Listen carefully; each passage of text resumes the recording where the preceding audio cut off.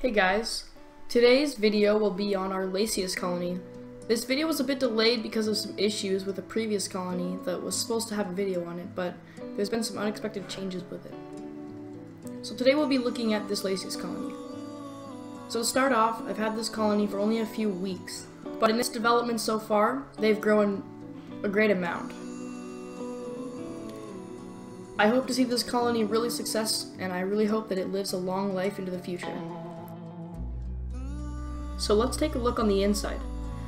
So far, they've been doing amazing with their brood, which I'll show a clip of right away, and they're also doing really good with healthy status. Um, the only problem that I've ran into so far is the water situation. When I made this test tube, I don't know what I was thinking, it was a while ago, and it didn't have a colony in it for the longest time, and I should have just removed the cotton, but I didn't. So there's still moisture there, but there's not a lot of water left. So they're definitely they're definitely going to be due for a new test tube soon. The reason I haven't done it already is because in one failed move attempt, where I literally waited one week, they didn't move, and it's not that I was impatient, but I didn't want to risk anything happening with two test tubes sitting on the thing, taped together, I just didn't trust it with people in my house and everyone else, so I decided to take it down for now, since they were not interested in moving.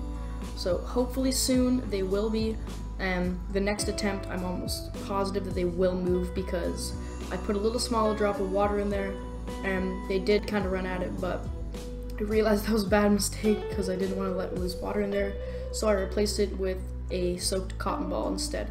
So hopefully this colony ends up doing well in the end, and hopefully they'll move into their new test tube because um, they really need to. It'll be very helpful for me and them since they need water to survive, so without further ado, let's move on to the next colony.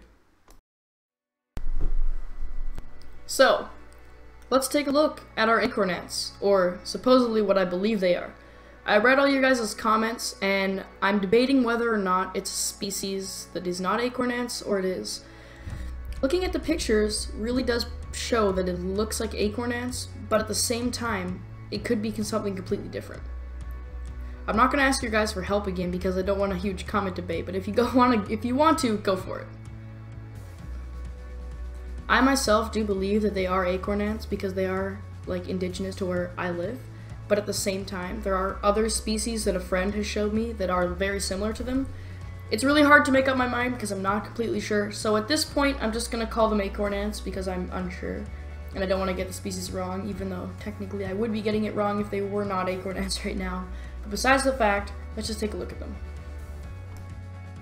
So, so far, as you can see, they do have a decent amount of brood, and for some reason an ant that seems to bury itself underneath the cotton possibly to reach the water better, but the moisture seems to be coming fine in other places, so maybe he's just a little crazy.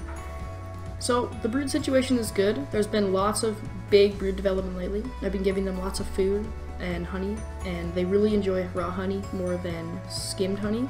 So it's really interesting to see that they like that more, which in reality does make sense to why they would, but I just find it fascinating to see that they do have a preference.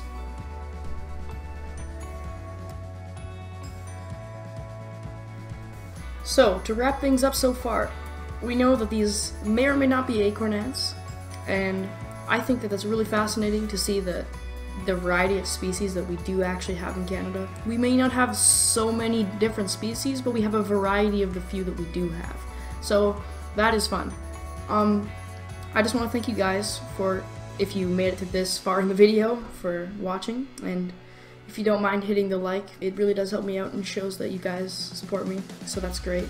And I just want to, so I just want you guys to know that I really do appreciate it when you guys comment, like, and subscribe, all that stuff. It really does help me out, and I just really want you guys to know that. So I'll definitely try to upload some more videos because I know there's been a lack, and I always say this, and I'm going to say it again. And I promise to get a little bit better at that. But next video, I'll do another thing where I'll have two uploads. I think that's a comfortable spot to be, kind of two uploads per video, or sorry, two columns per video.